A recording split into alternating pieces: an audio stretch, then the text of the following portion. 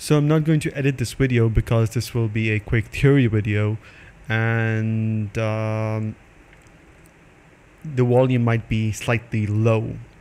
My other videos the volume is high but the volume will be slightly low so I apologize for that.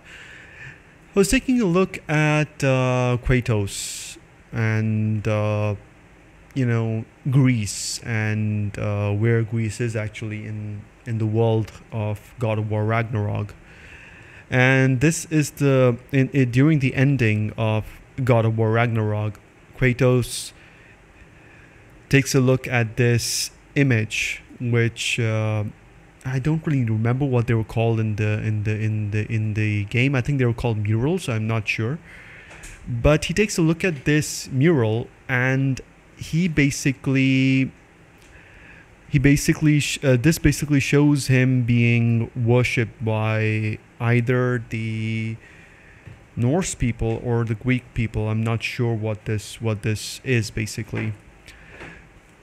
But we do know in God of War 2018 that he did see a ways of you know ways where the younger Kratos could uh, could be uh, was drawn basically uh, the younger Kratos could be seen which kind of implies that Greece has been rebuilt after the death of Zeus and all the other gods. You could see even uh, like the, you can see in the pictures if you do a quick Google search that the ways that had the young Kratos also had another ways right next to it where it kind of implied that Greece was rebuilt successfully. And uh, I believe Tyr was the one who basically got the uh, uh was going in collecting stuff from other worlds and other dimensions and other pantheons this could imply that we will probably see Kratos' return to Greece someday. So completely completing his arc there, and he's going to go back into to Greece to rebuild Greece and you know uh, probably defeat Athena. That is that is my theory.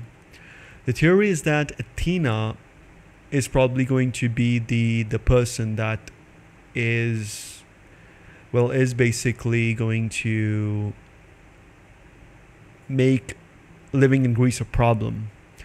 Kratos with Atreus will probably return to Greece, or Atreus alone will return to Greece, or not return to Greece, never went to Greece, will go to Greece to defeat Athena. That is what I believe. Uh, Athena was very power hungry the last time we saw her. So there is a chance that she is going to. Well, Kratos will have this mission where he's going to go back to Greece and then, you know, uh, save Greece from Athena, or this is just my theory. However, this mural or this image, whatever it is, this doesn't seem to indicate that he, he is going back to Greece. At least I don't think it is, because you can see that the armor on this person looks like it's from it's an it's like Nordic. It doesn't look like it's uh, it's Greek. Like the armor on the on the right side of this this little giant thing on the on the right side underneath Kratos.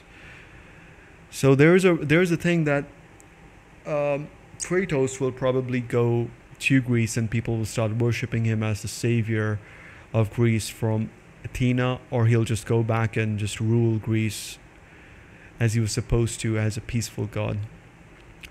It would have made more sense if the red red uh, this tattoo of his turned blue. That then it would have mean that he's the god of peace now but that's not the case. I wish it was blue. That would have clearly implied that he is a god of peace. But people are worshiping him, probably both in the Norse, um, in the Norse realm as well. If he ever goes to Greece, he, they will worship him in Greece as well.